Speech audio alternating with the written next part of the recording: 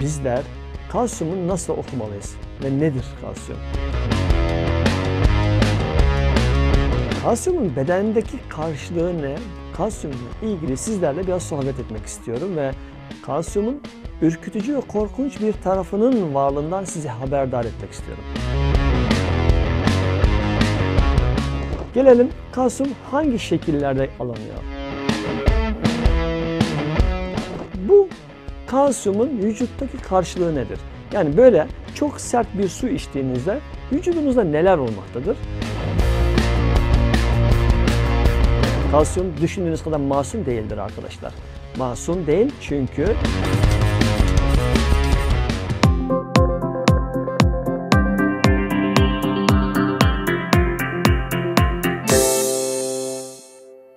bir kalsiyumdur.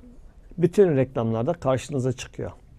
Bir ürün çıktığında onun besin değerinin gücünü ifade etmek için kullanılan ilk bilgi kalsiyum açısından zengin, bol kalsiyumlu ve buna benzer abartılı köpürtülmüş cümleler görüyoruz. Kalsiyumun bedendeki karşılığı ne? Kalsiyumla ilgili sizlerle biraz sohbet etmek istiyorum ve kalsiyumun ürkütücü ve korkunç bir tarafının varlığından sizi haberdar etmek istiyorum. Evet.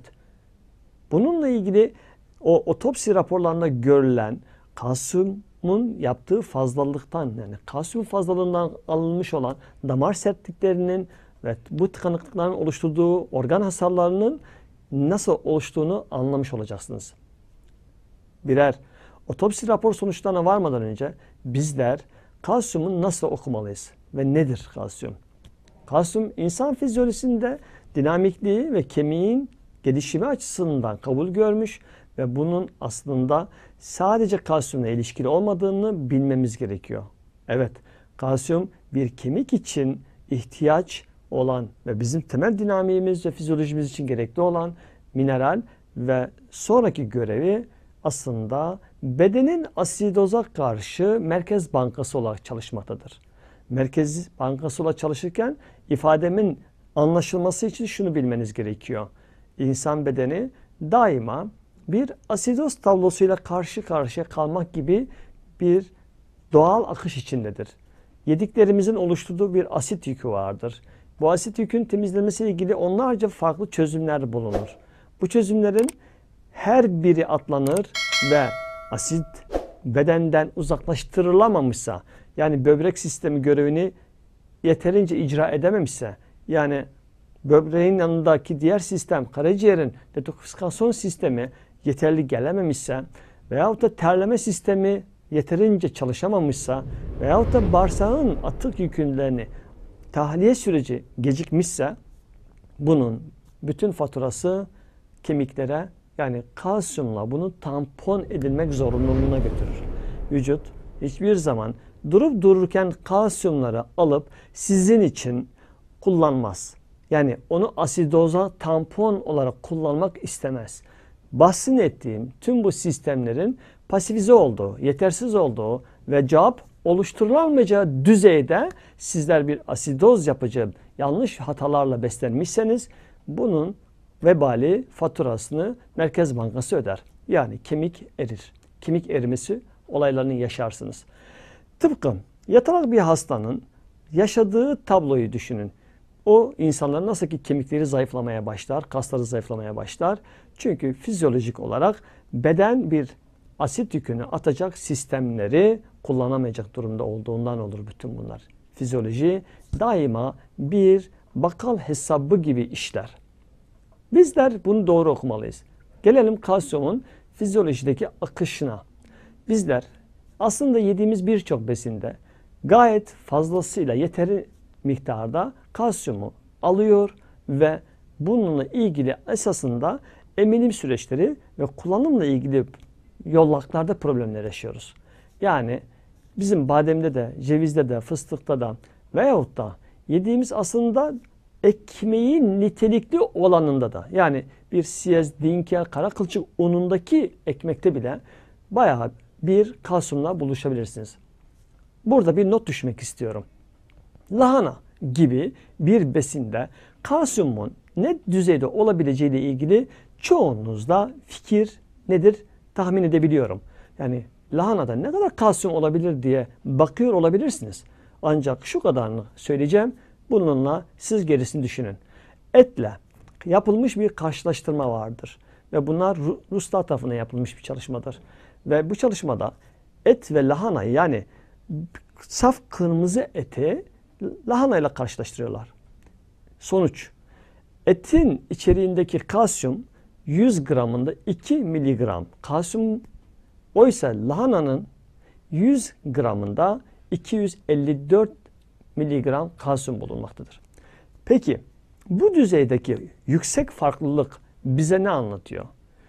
İnsanların günlük sebze tüketiminde de zaten yeterince kalsiyumun varlığına ulaşıyor.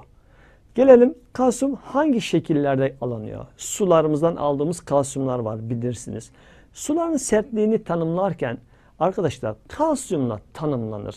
Suların yumuşaklığını söylerken sodyumla ifade edilir. Yani bir suyun sodyum bir suyun yumuşaklığını belirlerken nitekim evlerinizin önüne taktığınız yumuşatıcılar dediğiniz şeylerin tuzla çalıştığını hatırlayınız. Bir diğer kuyulardan alınmış suların da kalsiyumdan kaynaklanan nedenlerle sert olduğunu biliniz. Peki bu kalsiyumun vücuttaki karşılığı nedir? Yani böyle çok sert bir su içtiğinizde vücudunuzda neler olmaktadır? Bunlar kalsiyumun bileşik halleridir arkadaşlar.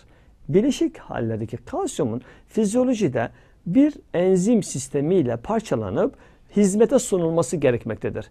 Yani siz aldığınız her kalsiyum vücutta gelip de direkt çalışacak durumda değildir. Bunun mutlaka bir ayrıştırılma süreci vardır. Sütteki kalsiyum da proteinlere bağlıdır.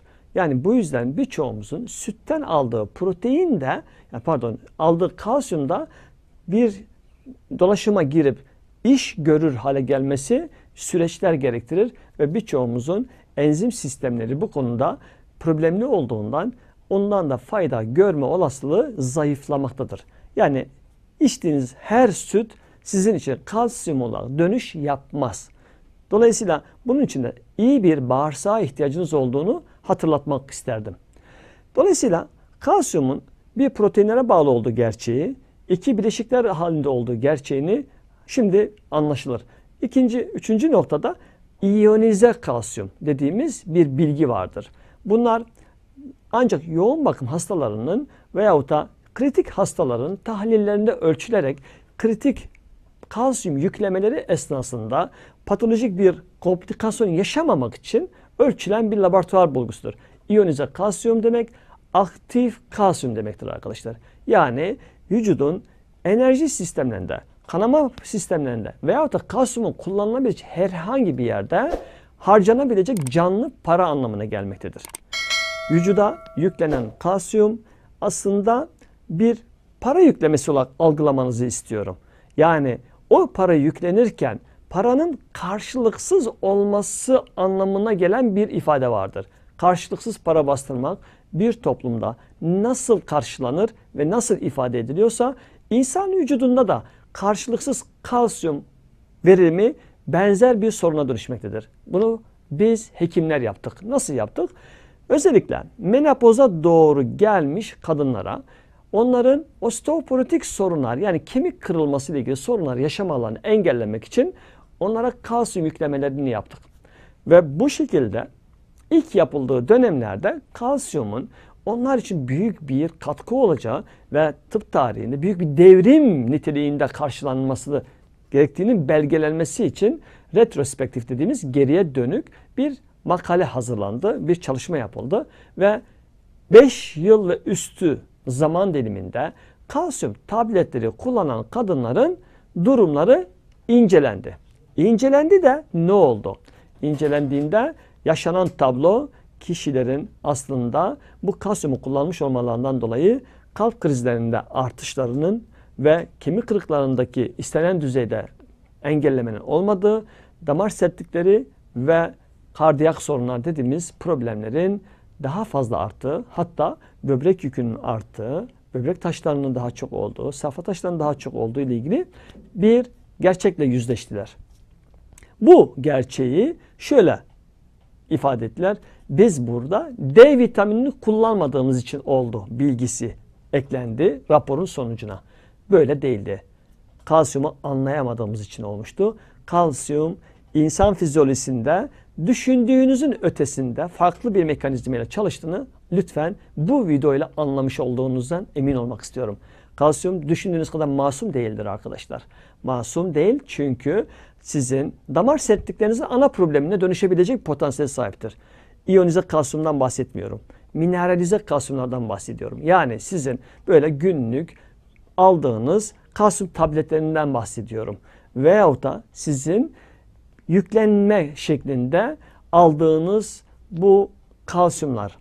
Bizlerin yükleme şeklinde aldığımız kalsiyumlar nedir onu da söylemekte fayda görüyorum. Suların alkali olması için kalsiyum bir karbonat kullanan evet arkadaşlardan bahsediyorum. Bunun sağlık olduğunu düşünüp sularını alkali yapmaya çalışırken farkında olmadan damar sertliklerine sebebiyet verdiklerinin farkında olmuyorlar. Böyle bu ayrıntıyı da sizlerin lütfen altını çizerek not edin. Çünkü bu sağlığını ararken tuzağa düşen arkadaşlarınızdır.